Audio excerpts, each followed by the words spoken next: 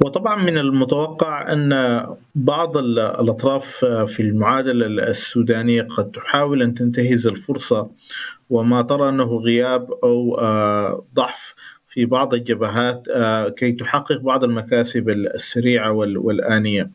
ولذلك الهجوم الذي قادته قوات الحركة الشعبية لتحرير السودان الشمال بقيادة عبد العزيز حلو على مدينتي كادوغلي والدلنج ليس مستغربا. وإن كان واضح أن قوات الجيش السوداني المتمركزة في المنطقة استطاعت صد ورد الهجومين يعني اللي تموا خلال الأيام الماضية. ولذلك محاولات بعض الأطراف هنا وهناك لإعادة التموضع وربما كسب بعض الأرض أو على الأقل الضغط يعني ببغية يعني إيجاد مكاسب تستغل لاحقا في أي عمليه تفاوض ليس مستغربا. قد تكون هناك حتى تحركات متوقعة في في مقبل الأيام إن تطاول مدى الصراع. أن أن تحدث مثل هذه التحركات لرفع الضغط أو تخفيف الضغط عن الحلفاء. يعني مثلا حلفاء قوات الدعم السريع في الخرطوم أو في بعض مناطق دارفور كذلك. من باب شد الأطراف ومحاولة تشتيت قوى أستاذ محمد استمرار الصراع هل بات يحد هل بات يهدد وحدة أراضي السودان؟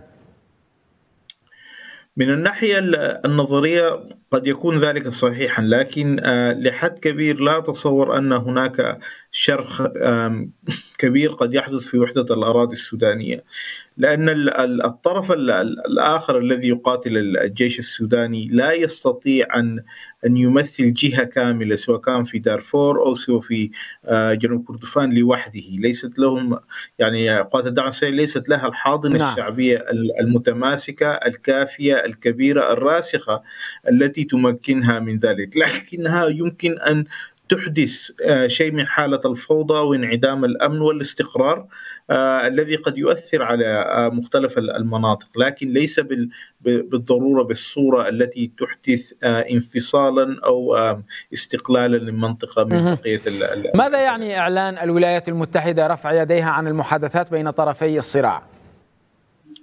وفي الغالب الولايات المتحدة في في غالب الامر في ظني أنها أوكلت الأمر إلى الحلفاء الإقليميين في وغالبا تريد إفساح الطريق أمام المبادرة التي تحاول أن تتقدم بها مجموعة دول الإيجاد بالقيادة بواسطة القيادة الكينية. وهذا أمر ليس جديدا على نسق الولايات المتحدة. يتدخل الشركاء الدوليون بين قوسين في مختلف النزاعات ولكن حينما يكتشفون أن الأمر أكثر تعقيدا أو ربما يتطاول أو ربما ليست فيه مكاسب سياسية سريعة يتم ايكال الأمر إلى الوكلاء إقليميين و وتظل الولايات المتحدة موجودة في في الخلفيه لكن طبعا الأمر الآخر هم تحدثوا عن الصيغة أو استخدموا كلمة فورمات نعم. وهذا صحيح. الصيغة التي تريد أن تفرضها الولايات المتحدة هي صيغة محطوبة صيغة قائمة على أساس خاطئ صيغة لن تؤدي إلا إلى ذات النتائج التي وصلنا إليها في السودان في الخامس عشر من إبريل.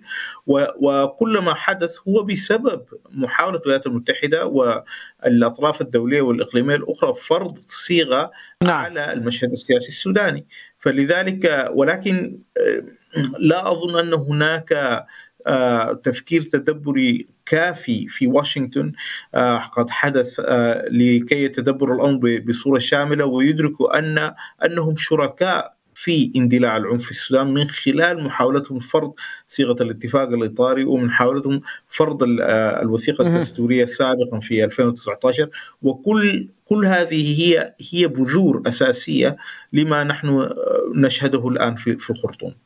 أشكرك جزيل الشكر. الباحث والمحلل السياسي محمد الأمين عثمان على هذه المداخلة. كنت معنا مباشرة من لندن.